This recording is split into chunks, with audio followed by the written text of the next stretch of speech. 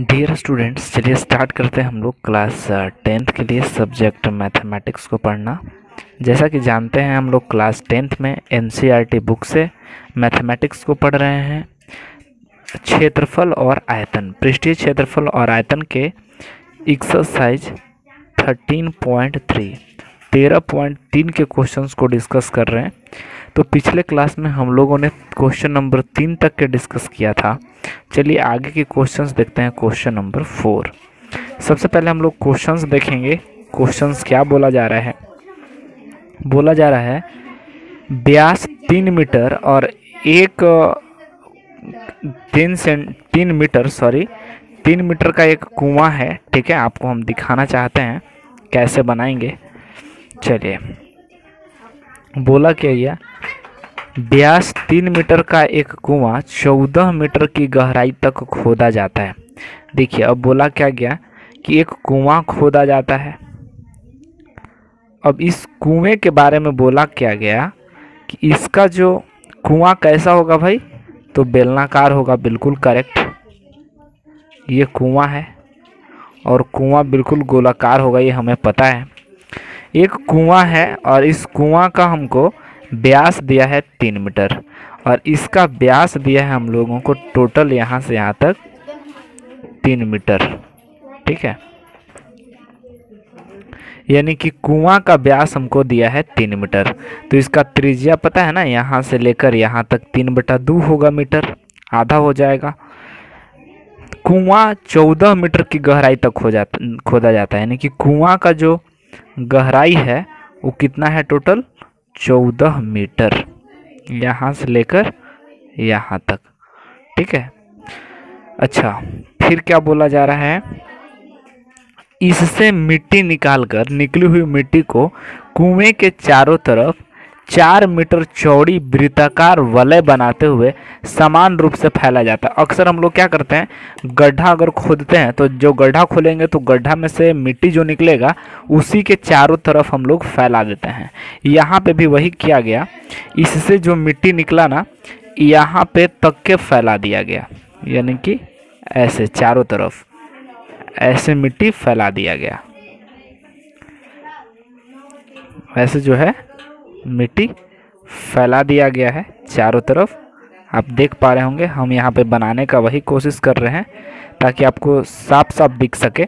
यहाँ से जो मिट्टी निकला, इधर चार तरफ़ चार मीटर चौड़ा और जो है, चारों तरफ़ से भर दिया गया है।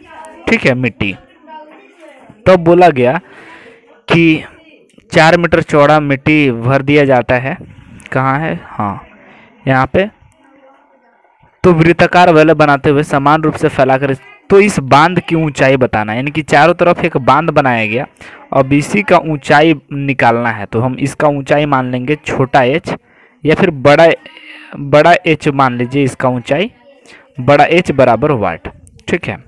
सबसे पहले आप ये बात कर लीजिए कि जो कुआँ है तो कुएँ का कुएँ का ब्यास, कुएँ का ब्यास कितना था? तीन बटा दो मीटर।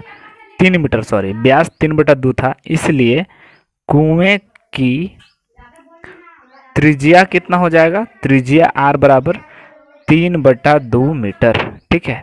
त्रिज्या तीन बटा दो मीटर हो गया। अच्छा ये तो कुएँ का त्रिज्या हो गया ना? अच्छा बात मान लेते हैं, जो चारों तरफ़ मिट्टी फैलाया गया है, वो तो और चार मीटर रोड चौड़ा है। सब चार मीटर इधर इधर इधर इधर जो कलर कर रहे हैं ये टोटल चार मीटर है।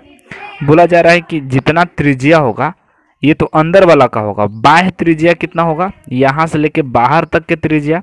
तो उसको हम लोग बाह्य त्रिज्या कहेंगे। बाह्य त्रिज्या को कैपिटल आर से हम सूचित कर रहे हैं। बाह्य त्रिज्या का वैल्यू कैपिटल आर है, जो चारों तरफ़ से मिट्टी लगाए हुए हैं। इसमें क्या होगा? तो ऊ वाला त्रिज्या तो रहेगा अंदर वाला तीन बटा दो, और रोड जो है चार मीटर चौड़ी है। ये वाला चार मीटर चौड़ी है, ये वाला ऐड हो जाएगा। तो इसको ऐड कीजिएगा, ग्यारह बट्टा दो मीटर हो जाएगा। इस तरीके से बाहरी त्रिज्या हमको पता चल गया ग्यारह बट्टा दो, और मान लीजिए बाह बाहरी ऊंचाई, बाहरी का जो ऊंचाई है बाह्य ऊंचाई, उसको मान लीजिए आप एच ठीक है? और अंदर वाले जो कुएँ का ऊंचाई है, उसका वैल्यू हम छोटा एच बोल रहे हैं। कुएँ की ऊंचाई यानी कि छोटा एच का मान दिया है चौदह मीटर। तो जो अंदर वाला है, कुआँ है, उसका त्रिज्या को छोटा आर बोल रहे हैं, तीन बटा दो, और उसका ऊंचाई चौदह मीटर। अब आप बताइए कि हमको चारों तरफ़ से मिट्टी जो फैलाए हैं, वो मिट्टी क्या होगा? तो चलिए हम यहाँ पे बात कर लेते हैं। प्रश्न से प्रश्न से, कुएँ के जो मिट्टी का आयतन होगा, ध्यान रखिएगा। कुएँ का मिट्टी का आयतन बराबर बाँध के मिट्टी का आयतन, यानी कि जो बाँध बनाया गया चारों तरफ़ से, उसका मिट्टी के आयतन बराबर होगा। बाँध के मिट्टी का आयतन। अब देखिए, कुएँ का मिट्टी का आयतन कैसे निकालेंगे? तो कुआँ क्या है? एक बेलनाकार है तो बेलन का फार्मूला होता है पाई आर स्क्वायर एच, बराबर? अब यहाँ पे देखिए, हम अगर पाई आर स्क्वायर एच बड़ा वाला के लिए करते हैं तो अंदर वाला भी शामिल हो जाएगा। इसलिए करेंगे क्या? बाहर वाला में से अंदर वाला के आयतन को घटा लेंगे। तो कुल मिलाकर यहाँ हम और ऊंचाई तो सब में एच ही रखेंगे। तो इस तरीके से हम लोग यहाँ देख पा रहे होंगे कि जो यहाँ बाँध के मिट्टी का जो आयतन है, अब बाँध के जो मिट्टी है, उसका आयतन हम लोग कैसे निकाल पाएँगे? तो जो चारों तरफ़ से बाँध निकाले हैं, उसमें हम लोग देख पा रहे होंगे कि पाई एच तो कॉमन रहेगा, क्योंकि एच जो है ऊंचाई है, यानी कि जो बाँध का आयतन होगा, पाई आर स्क्वायर एच होगा, ठीक है? Pi r square h. यानी लेकिन यहाँ पे आर स्क्वायर के जगह पे ध्यान रखिए हम लोग करेंगे क्या? तो बड़ा वाला त्रिज्या है यहाँ से यहाँ तक, उसमें से छोटा वाला त्रिज्या को माने हैं छोटा आर इसलिए आर स्क्वायर बड़ा आर स्क्वायर में से छोटा आर स्क्वायर को घटाएँगे यहाँ पे। इसलिए यहाँ पे ऐसा कर रहे हैं, घटा इसलिए रहे हैं, ताकि बड़ा आर का मतलब यहाँ से यहाँ तक के, बड़ा वाला त्रिज्या, और छोटा वाला त्रिज्या का मतलब यहाँ से लेकर यहाँ तक। तो इस तरीके से हम लोग यहाँ पे देख पा रहे हैं कि हम लोग जो pi r square h formula लगाते थे, ठीक है? तो पाई आर स्क्वायर एच ही है, लेकिन यहाँ आर स्क्वायर के जगह पे बड़ा आर स्क्वायर में से छोटा आर इसलिए घटाया गया क्योंकि यहाँ पे क्या है? गड्ढा है। यहाँ से हम लोग निकाल के चारों तरफ़ में मिट्टी लगाए हुए हैं। इसलिए capital R square minus r square करते हैं। अब पाई से पाई तो दोनों तरफ़ कट गया। अब छोटा आर का वैल्यू कितना है? तो छोटा आर का वैल्यू थ्री बाई टू है। थ्री बाई टू का स्क्वायर। इंटू एच एच कितना छोटा एच का वैल्यू चौदह metre.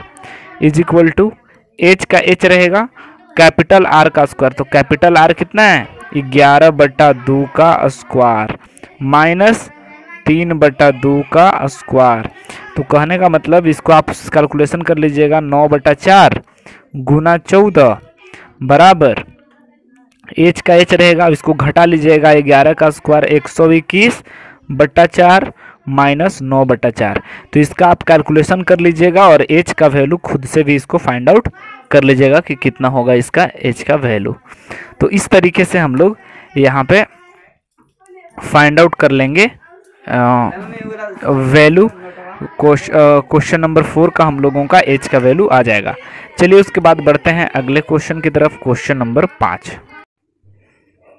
डियर स्टूडेंट्स तो फिर चल, चलते हैं अगले क्वेश्चन नंबर फाइव पे कि पाँच नंबर क्वेश्चन क्या बोला जा रहा है? तो पाँच नंबर जो क्वेश्चन है, वो कुछ इस तरीके से दिखा रहा है। ब्यास पाँच, बारह सेंटीमीटर और ऊंचाई पंद्रह सेंटीमीटर वाला एक लंब वृत्तीय बेलन के आकार का बर्तन आइसक्रीम से भरा है। आइसक्रीम जो भरा हुआ है, वो किस तरह का बर्तन में भरा है? बेलन जैसा बर्तन में, जिसका व्यास बारह है और ऊंचाई पंद्रह है। चलिए, एक, बेलन बनाते हैं और इस बेलन का बात करें तो इस बेलन का आयतन, यानी कि इसमें जो आइसक्रीम भरा पड़ा है, इसका ब्यास टोटल यहाँ से यहाँ तक बारह मीटर है। ठीक है? तो आप समझ रहे हैं कि त्रिज्या यहाँ से यहाँ तक कितना होगा? तो बेलन की त्रिज्या आर इज़ इक्वल टू हो गया छ सेंटीमीटर ठीक है, क्योंकि बारह सेंटीमीटर त्रिज्या था। अच्छा इसके ऊंचाई का बात कर रहे हैं, बेलन की ऊंचाई को एच से डिनोट्स कर रहे हैं। ऊंचाई हम लोगों को ना पंद्रह सेंटीमीटर दिया है। ये बेलन की ऊंचाई रहा। बेलन की ऊंचाई पंद्रह सेंटीमीटर फिर ज़रा बात कर लेते हैं।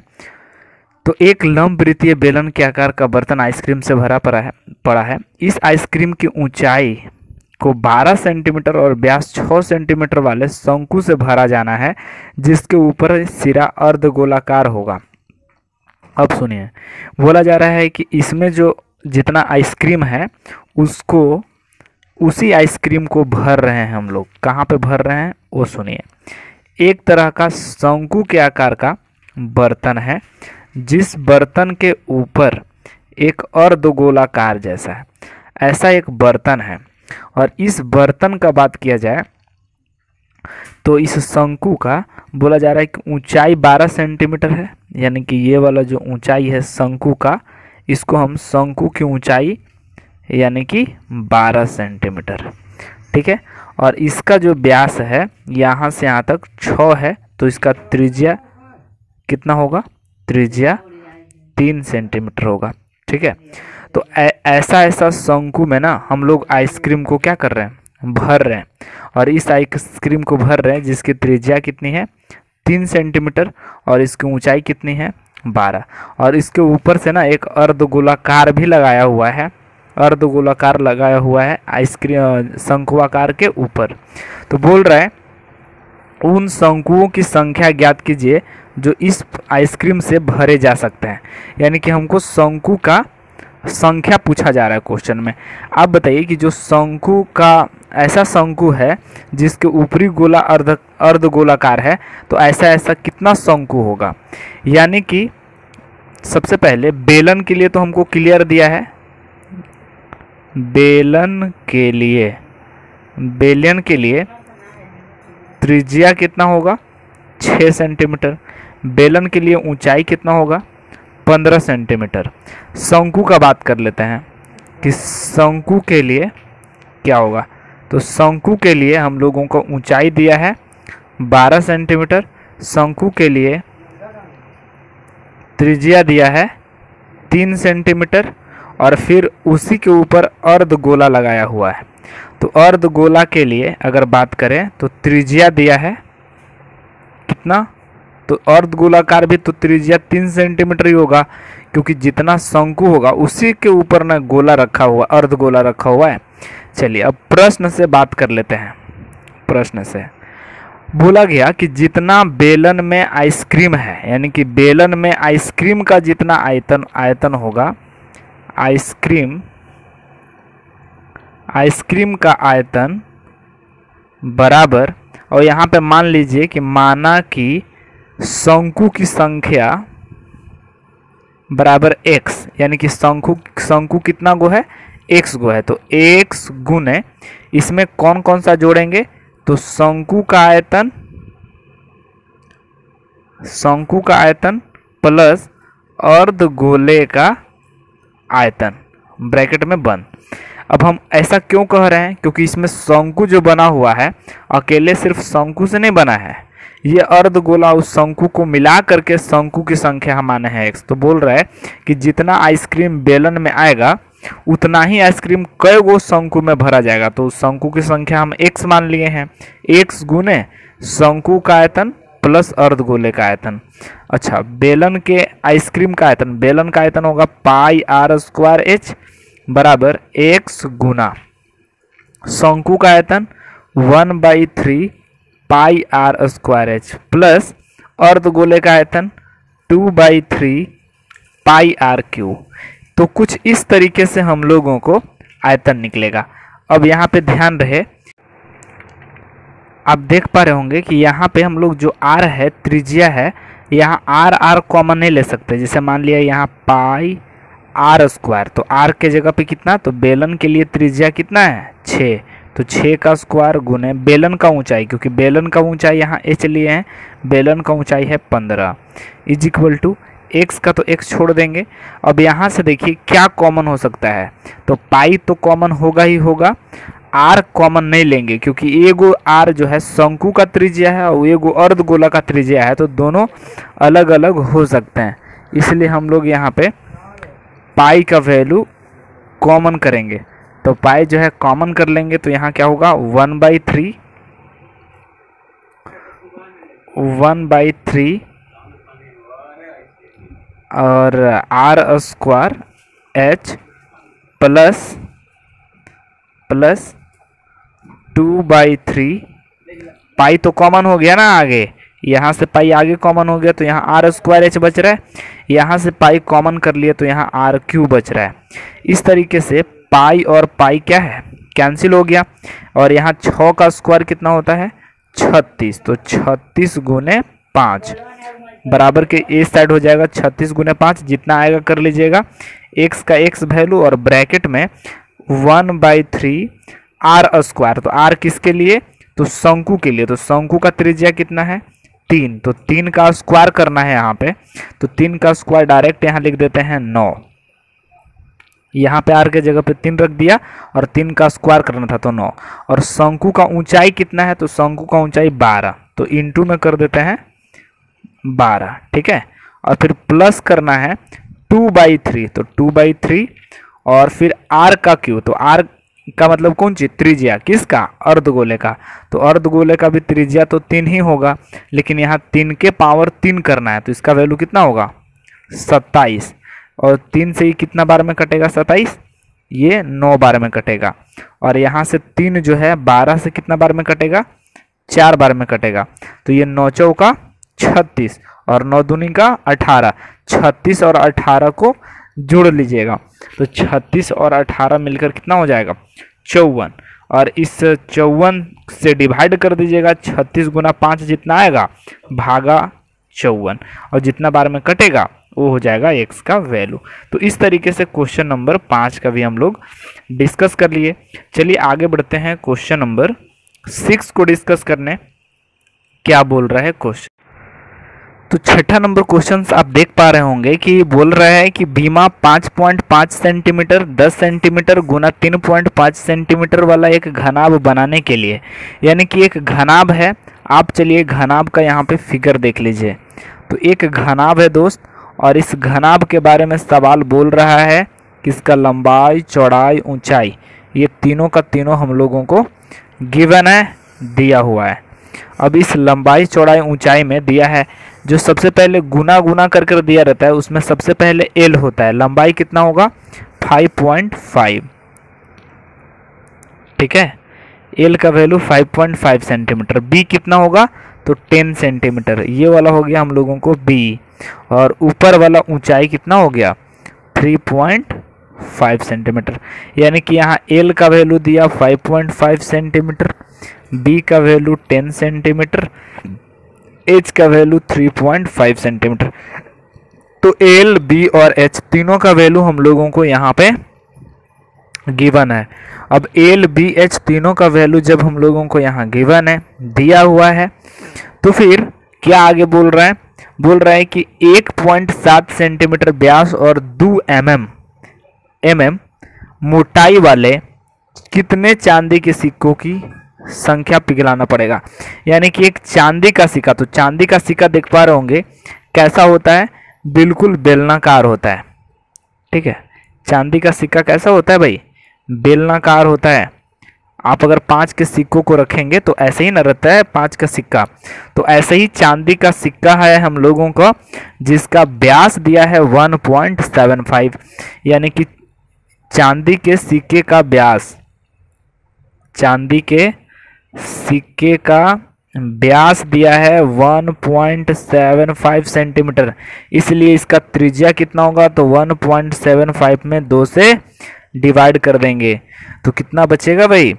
इसको डिवाइड करेंगे तो हो जाएगा 0.875 सेंटीमीटर यानी कि इस बेलन बेलन, चांदी का जो आकृति है वो बेलन के जैसा है। और इसका आर पता चल गया 0.875 सेंटीमीटर ठीक है? क्योंकि इसको डिवाइड करेंगे तो हम लोगों को कुछ इस तरीके से त्रिज्या मिलेगा। टू से डिवाइड करेंगे तो। अच्छा फिर क्या बोल रहा है कि और दो एम एम मोटाई है। मोटाई मतलब ये वाला मोटाई मतलब ऊंचाई। यानी कि इसका ऊंचाई दिया है भाई दो एम एम यानी कि मिलीमीटर अब दो एम एम हम लोगों को हम्म, ऊंचाई है तो अब मिलीमीटर से हम लोगों को कहाँ जाना होगा? सेंटीमीटर तो जब मिलीमीटर से सेंटीमीटर जाते हैं तो पता है ना क्या करते हैं? हाँ तो पता होना चाहिए कि क्या किया जाता है जब मिलीमीटर से सेंटीमीटर तो आपको पता होना चाहिए टेन से ना डिवाइड करते हैं। तो जब टेन से डिवाइड करेंगे तो ज़ीरो पॉइंट टू सेंटीमीटर हमें ऊंचाई पता चल जाएगा।